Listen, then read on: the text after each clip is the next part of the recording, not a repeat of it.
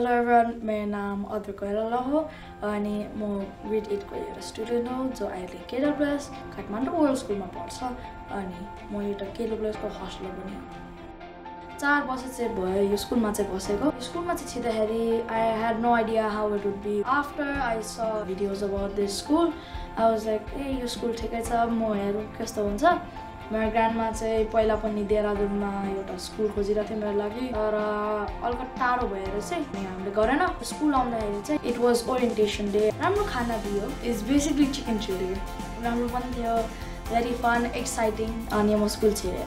Grade एटमा चाहिँ hostel आउनु मेरो डिसिजन थियो आफ्टर आई केट हस्टेल एक दुई दिन बसेँ र मोडर्न टिचर्स इन्चार्जहरू तिनीहरू they talking for they talk about how तिमीलाई हुन्छ किन भइरहेछ तिमीलाई यस्तो भइरहेछ कोप गर्नुपर्छ अहिलेको लागि once every end of Nepali month last फ्राइडेमा बिरामी सिरामी केही हलिडेज छ भने त जान दिइहाल्छ I take my diary I note down this minute is to go home भनेर मेरो स्कुलमा चाहिँ फेभरेट सब्जेक्ट इज इङ्ग्लिस हाम्रो इङ्ग्लिस टिचर जहिले पनि मलाई इन्करेज गर्नुहुन्छ। मेरो टिचर मेरो ग्रामर राम्रो छ and I can make it better most of the time चाहिँ हामीले टिचर्सकै हेल्प लिने हो। स्टडिजमा चाहिँ मेरो राम्रो गइरहेको छ अहिले चाहिँ। I like playing video games होइन।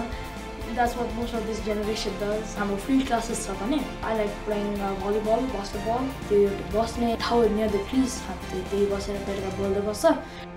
हाम्रो बास्केटबल कोर्टहरू राम्रो छ गेम्स खेलाउन लाग्छ हामीलाई. We have also different creative clubs such as art music dance and vocals I would definitely recommend मेरो साथीहरू